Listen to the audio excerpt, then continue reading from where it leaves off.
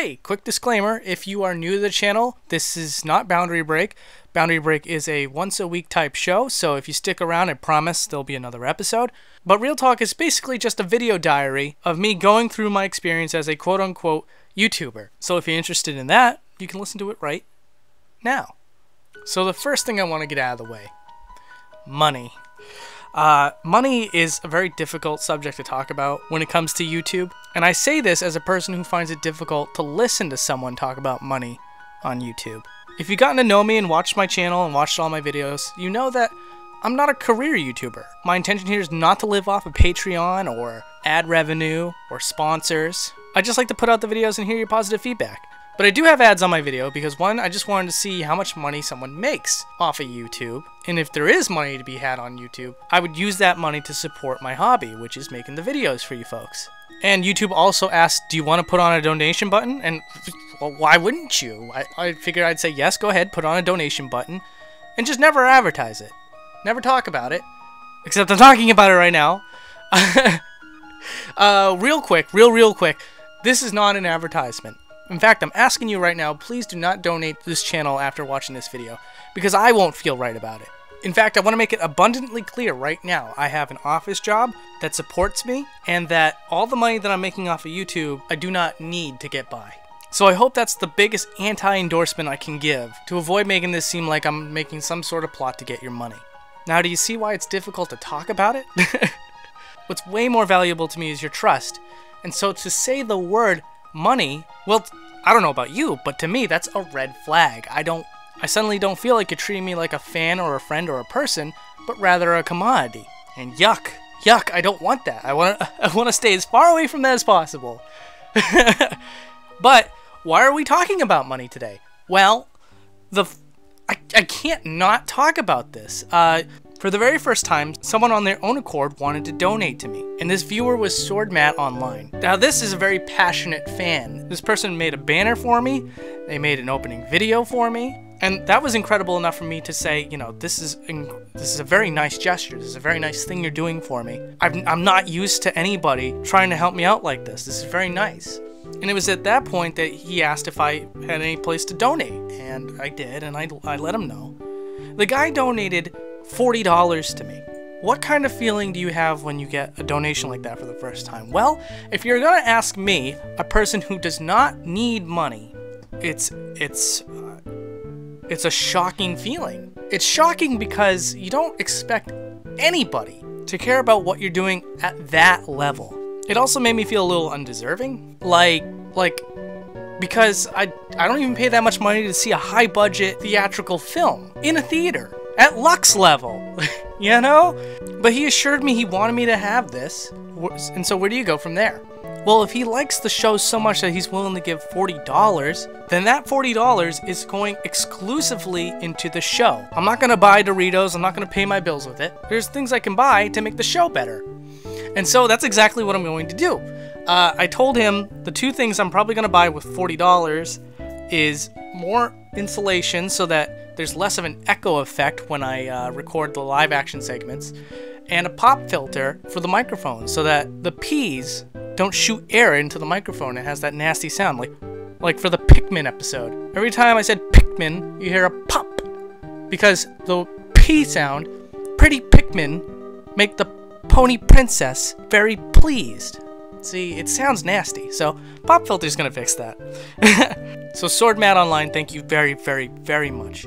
You've humbled me, man. I don't value myself at $40, so thank you. So one other thing I wanted to talk about real quick is I'm super duper duper excited about one other thing. So there's this pixel artist that's been watching the show for a while, and he private messaged me and said, you know, hey, guess what? You know, I'm an artist, and uh, I've decided, you know, if you ever want my help, I'll, I'll do something for you. Here's my here's my portfolio.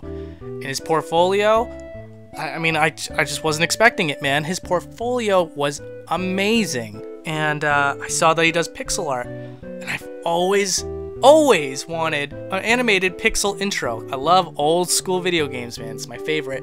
And so he's already started working on it. And if you've noticed, you can already see the Shesez icon with the shirt and the hat. Or you may have noticed in this episode of Real Talk, the image of the Shesez logo is a lot sharper. Well, that's because he redid it. And I could use the, the one with the hat and stuff like that, but I kind of want to keep this consistent.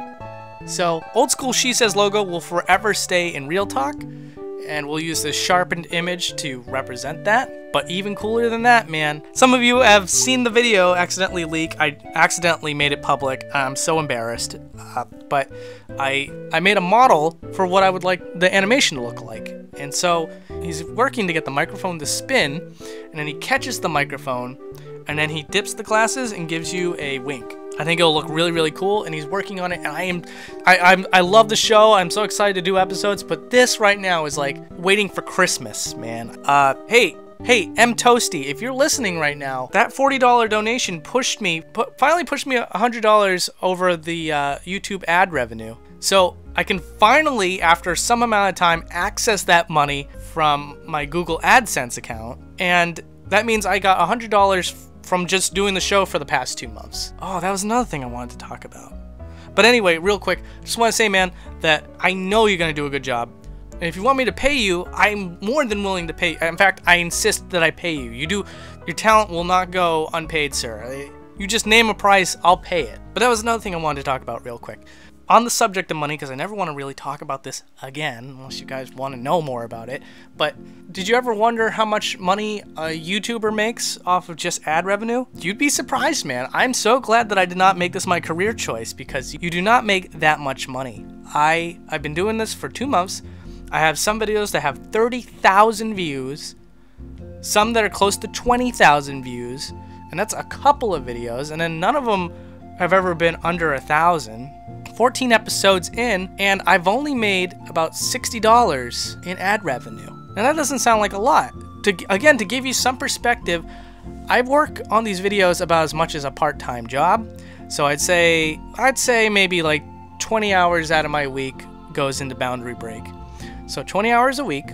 I've been doing this for two months, and the amount of money I've made is $60. If you ever come across somebody who feels like they need to criticize me or another YouTuber for trying to get your views just so that they can make a dollar off of ad revenue, trust me, man, it's not fast cash. I mean, yeah, you can do some scummier stuff to get some money out of people, but that's not what we're gonna do here. Never. So honestly, I am 100% nervous about putting this episode out, but if I don't tell you guys this aspect of the show and how what I'm going through, I feel like I'm leaving out a chapter. That in itself feels dishonest. It feels like it's missing the point of this whole series, and that is to be 100% real with you folks. If I only share the good stuff or the stuff that makes you feel bad for me, then I'm not really being real with you. So I really hope that you guys saw the intention with everything that I talked about today, and I hope you enjoyed it. Oh yeah, and one last thing. Uh, I got a new piece of fan art. It's from Drybones343, and it's of the Shesez mascot. It's very cool, dude. Thank you so much. I appreciate it. So my final thoughts. From the start, I've always wanted to make this show community driven, and I, I think it's starting to transform this channel into something that I really like. Too often, content creators make their channels about themselves, and they try to paint the very best picture of themselves, and there's a disconnect between themselves and the community. I decided to take a different route. I decided to include everyone and help make their decisions have an impact and whatever sort of contributions they wanted to provide, like whether with art or, or whatever, that I would try to use it or, or share it with the rest of the community.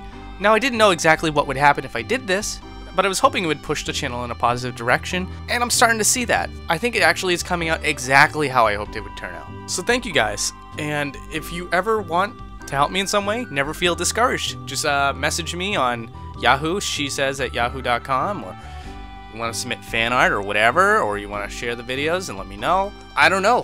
Whatever you want to do. Uh, so far, I've appreciated it wholeheartedly. I love it. And I just hope we keep working together again in the future. But alright, guys, I'm going to take off. Have yourselves a great week. And uh, I hope you enjoyed this video. Alright, guys, take care.